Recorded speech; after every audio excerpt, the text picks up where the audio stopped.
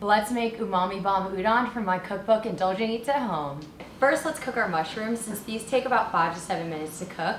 What's great is that you can keep frozen mushrooms on hand in the freezer. They're always gonna taste good since they're picked at their peak of freshness and they add so much umami and flavor. So we're just gonna heat a little bit of olive oil to add our frozen mushrooms straight from frozen.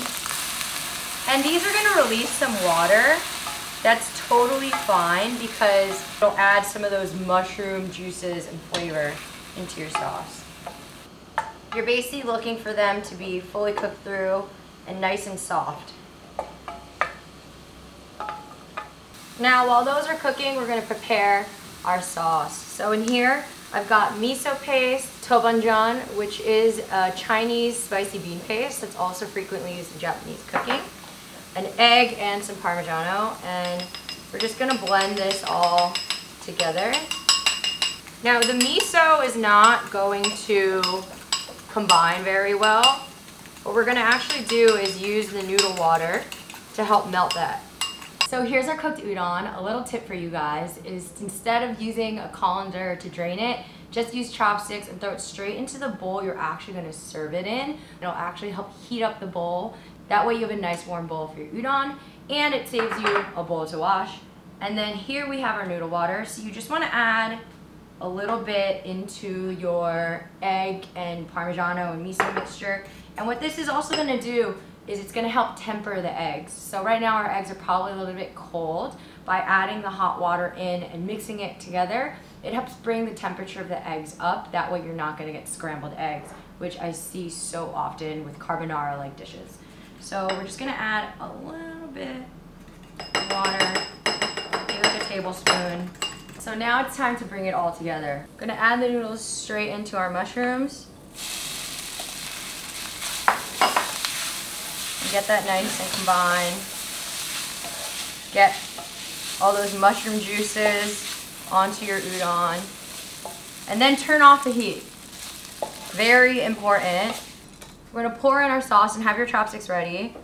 We're gonna pour it in and then immediately agitate the noodles it's cooking the eggs with the residual heat of the pan. But you can see that it's a nice creamy sauce. We're not getting any scrambled egg action happening. And so once that's all good, you can put it back into your bowl. Look at that creamy sauce. Oh, some black pepper. You basically want to make like a little nest for your egg. And then we're going to add our egg right into the middle. Finish it with some more Parmigiano.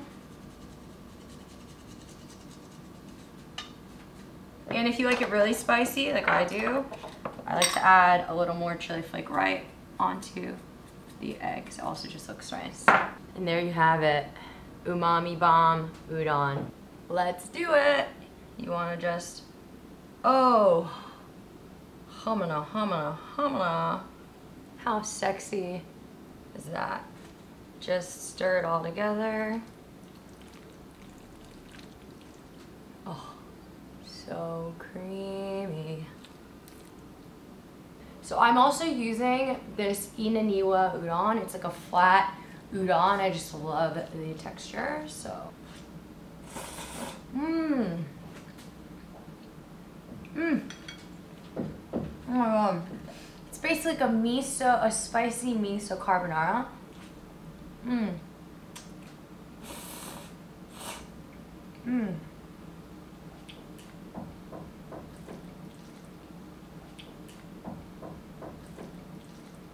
Got the cheese got the mushrooms.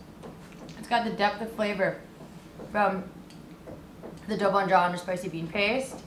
You got a little bit of bite from the scallion. Mmm. Mmm.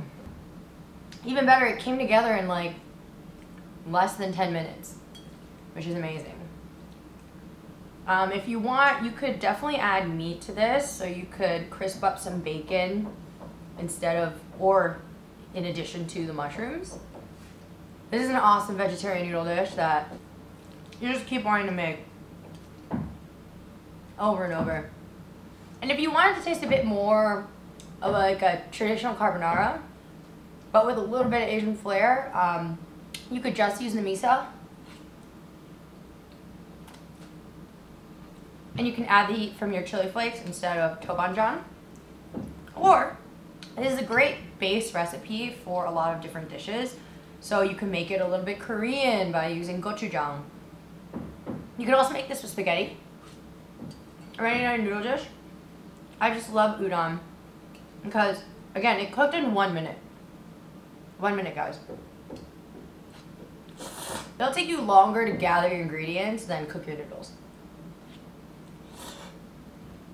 I was also so hungry, so it was perfect.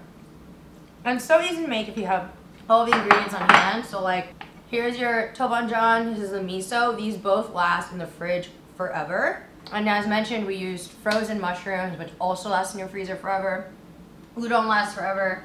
And then for your scallions, you can actually grow them on your windowsill. So every time you buy scallions, just put them in a glass of water and keep it by your windowsill and you'll always have scallions on hand. So the really the only ingredient you might need is like the Parmigiano, which I personally also always have, have on hand because I add on to everything. If you have the proper Parmigiano that's aged for, you know, 12 to 24 months, it's already been aged for over a year. A few more months and you're, you know, it's not gonna go bad, so it'll also last a really long time.